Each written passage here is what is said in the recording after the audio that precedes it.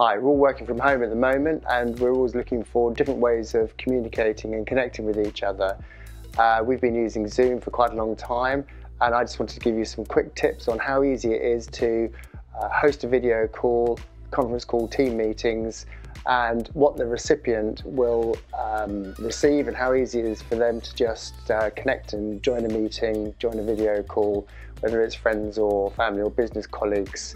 So my name is Tim Spiers from Slipstream Creative Agency. Let's jump straight in and take a look. To set up a video call using Zoom, go to zoom.us, click on the sign up, and there's a big blue button saying sign up, it's free. Click that and put in your email address and click sign up and I'll send you an email. There's the email to activate your Zoom account, activate account, and you can start a test meeting. You need to download and run Zoom.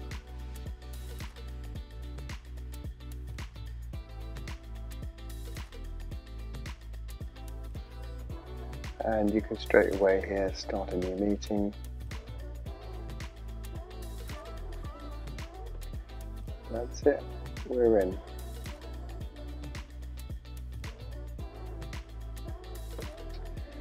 Uh, and then this is where you can invite someone. And you can simply go to email, click the email and uh, it presets it all up for you. With all the details you just put the contact in and they'll just have that link jump straight in. We've just from our Zoom account set up a meeting and sent a guest an invite by email.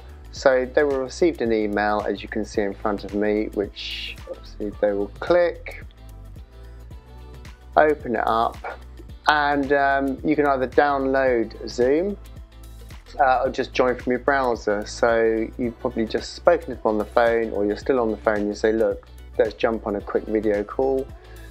Um, and all they need to do is click um, show in browser, pop their name in. So we'll just use my name, Timothy Spiers, and join the meeting.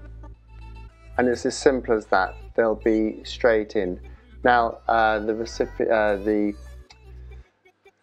uh, person doing the invite um, the way I've got it set up, um, have to admit them into the room.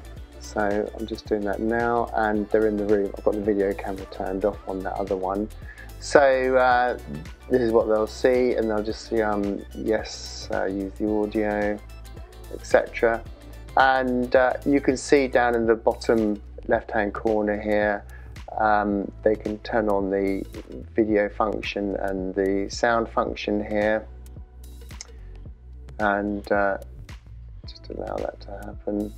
And uh, so straight away they'll be able to um, view you now and you can get into further functions by just clicking in here and in here. And that's it, they'll be ready to go.